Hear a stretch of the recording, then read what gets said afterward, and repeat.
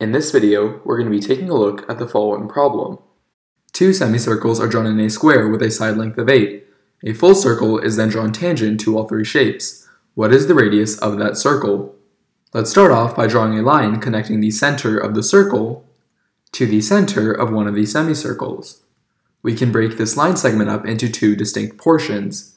The first portion is the radius of the pink circle, which we can call r, and the second portion is just the radius of the semicircle. We know the diameter of the semicircle is 8, and therefore the radius must be half that, so of length 4.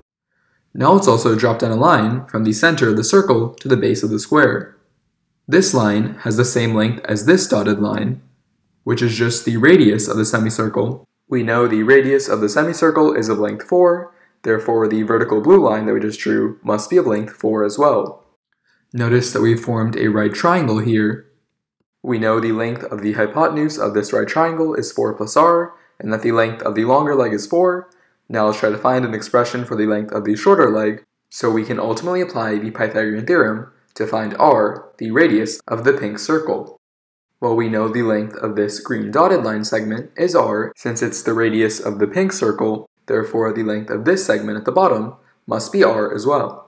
We also know that this entire segment is of length 4, it's the radius of the semicircle, therefore the base of the right triangle must be of length 4 minus r. Now let's apply the Pythagorean theorem on this right triangle to determine the value of r, which is the radius of the pink circle. If we do so, we get 4 minus r whole squared plus 4 squared equals 4 plus r whole squared. Now let's expand these squared terms. 4 minus r whole squared is 16 minus 8r plus r squared plus 4 squared, which is 16, equals 4 plus r whole squared, which is 16 plus 8r plus r squared. Now let's simplify this expression a little bit.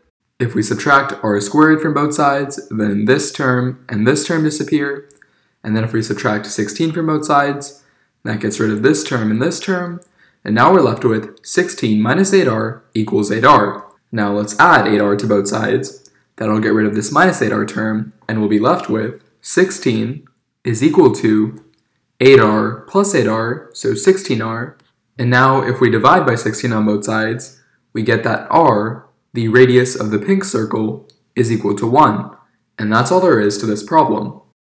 Alright, so that's about it for this video. If you enjoyed, leave it a like, and if you want to be notified when I post more content like this, make sure to subscribe. Thanks for watching.